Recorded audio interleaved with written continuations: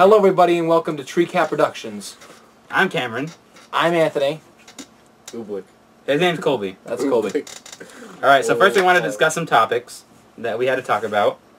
And, uh, all right, Colby, you can start it off. Nah, cause Start, off, with, start off with TV. no, you. All right, start, put something out here. All right, so our first topic we want to talk about was Infinite Warfare. He thinks, he personally thinks it's a bad deal for a, for the entire bundle and everything with remastered Modern Warfare. He thinks it's a bad deal, eighty dollars. If you want Modern Warfare, you have to pay eighty dollars for it. If you just want Infinite Warfare, it's sixty. Yeah, no, I If you understand don't buy it separate, like Modern Warfare, like 50 bucks, Remastered, yeah, like a, just a regular game. eighty dollars. I know, I understand what you mean. So are you paying $60 for Infinite Warfare, $20 for Call of Duty? Warfare no, 4? bas- basically you pay eighty dollars for Infinite Warfare, and Call of Duty 4. and it, no, it's a bundle. You're Yeah. right. It's a call, and Call of Duty Four. It's the bundle, and you.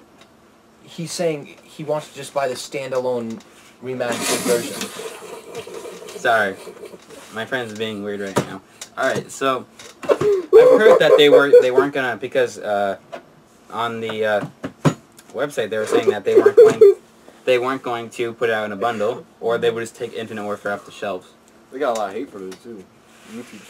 I don't understand why they would release a remaster. This is what I don't. This is what I don't like about. Um, who is it? Activision. hmm Activision and Infinity Ward. I think they're making. Yeah. That's what I don't like about Infinity Ward and Activision. They're, or anything about the gaming industry. They're basically they're just hogging money from us, and that's not fair. I, Well, Yeah. no, the They're only just reason trying to take money from. Do you know how much money I've spent on video games? Sixty dollars for a video game. Put it inside of a console and play. Yeah. I'd rather just buy a software to create my own video games. well, yeah, that's why people torrent. but the reason why they're giving us a bundle is because they realize no one wants Infinite Warfare. exactly, and they, they're making us pay twenty extra, uh, sixty extra dollars, Yeah, and it's bullshit. They shouldn't have to do that. I feel like at the, at the when they started out, they're Look going at the camera. All right. Uh, saying was that they were. Um, I feel like that they're just going at the the very start of like the production. All right. They're going to. How are you gonna, they're gonna get rid of Infinite Warfare and they're just gonna have two shelves. Have like what you want, you want. Because no one's gonna pay eighty dollars. They're just gonna lose all the shelves and it's gonna be a waste of time.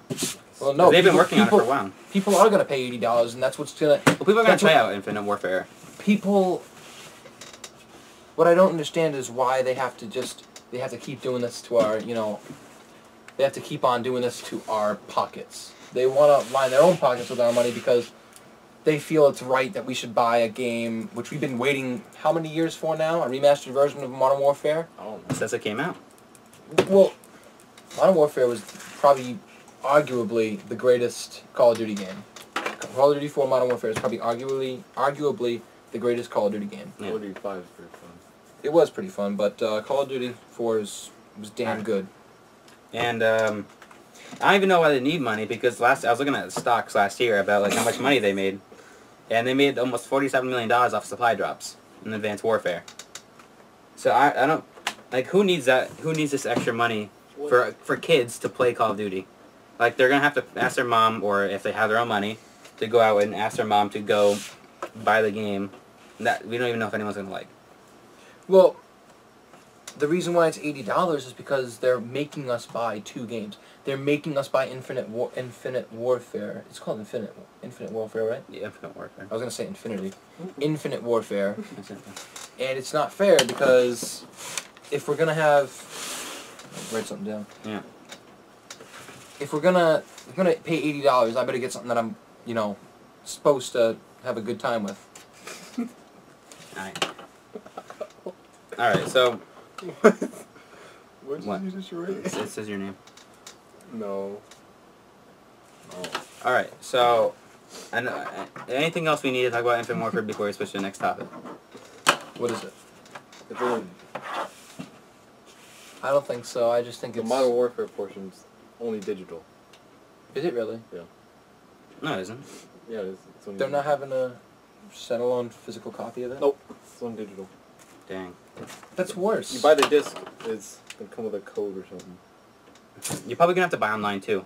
You're probably gonna have to buy like uh, a season pass or something. Oh, it's ridiculous. It's just they, they want to make so much money, so so much money. Infinite Warfare is going to be a bust. Nobody's going to play that. COD It's the- points. It's not like anybody ever buys a game off the shelves. Am I right? Nobody goes and buys Call of Duty to play the campaign. Yeah. They play the multiplayer. And they, even when they start up, they have the stupid menu. It says, uh, I it says something along the lines of, I strongly think that you should play the campaign first. Yeah. But no, no, people buy it for the multiplayer. Well, some, some people play the campaign only, and then get rid of the game. Wh- Well, what I was thinking about, th- this isn't related to Infinite Warfare, but I was thinking they should make a standalone zombies game. I know there's tons of them like Dead Rising and uh, DayZ, and but I just feel like they should make a standalone, an Activision standalone zombies game with the original models for the zombies from um, what was it, World at War? World at War, the original models and everything. They have all original levels and stuff. Allows you to make custom maps. Yeah, allows you to make custom maps. You can do everything on that. Is a standalone zombie game would that would sell so great because Activision's damn good with zombies. That's the only reason people buy Black Ops now. For zombies, Black Ops Three was sh- just terrible when it came to zombies because they tried to do what is it, Aliens? Uh, I don't know. I haven't They did um, uh, Shadows of Evil, which is a map where you had to like uh, go through it. Like you have to open up locks, and there's a bunch of like monsters and shit. Man, that's not like zombies. All right, so audio. Colby, I think we we're done with the Call of Duty scene. Colby wanted to talk about uh, a TD Bank issue. All Did the bank scams you? Yeah. right, tell me what, what happened. Well, the thing is, if you pay, no, if you have a hundred dollars in your bank account, and it goes under a hundred dollars, they charge you a fifteen dollar fee. So if you wait, so if you have a hundred dollars, get rid of. If you let's say you lose five dollars, so you have ninety five. You have to pay ninety five dollars. I mean, you have to pay fifteen dollars. I'm sorry, Yeah. Fifteen dollars a month, a year. or just for a It's a one time fee. Fifteen dollars. So what happens if you lose another fifteen dollars? Because of the ninety-five going to seven to eighty dollars, would you have to pay another fifteen dollars? No. If it went back up over a hundred and then it went back under. Yeah, but what if you don't pay the fee? That doesn't make any sense. I don't know. It's a TD bank. If, if you don't pay the fee, do you just like lose your bank account?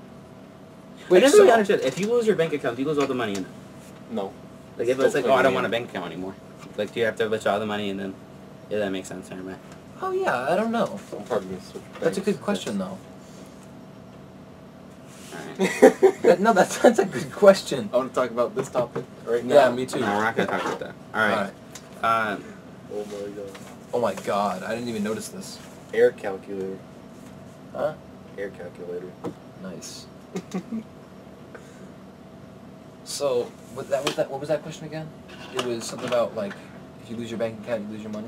I'm saying like, if let's say you don't want a bank account anymore, does it automatically send you your money, or do you like, uh, or does it stay in there? Or That's a good question. Like I, I don't feel like if you have like a say like 10, 10 grand inside of a bank account, and you said I don't want a bank account anymore, I think they have to, I think you have to pay them a certain amount to get rid of it.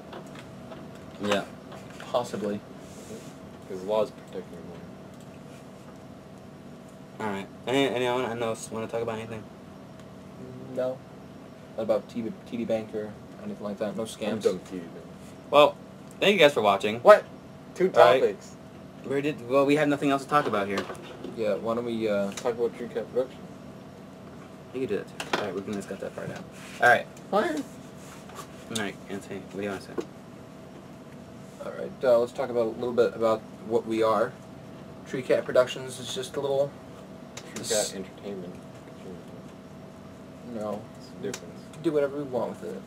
It's, start, all right, talk about the- start off with the clap and then go. All right. What what is Tree Cat Productions? I have to ask you because I've never, never had that information released to myself. It's basically like a network or group. We just make videos. So like Funhaus.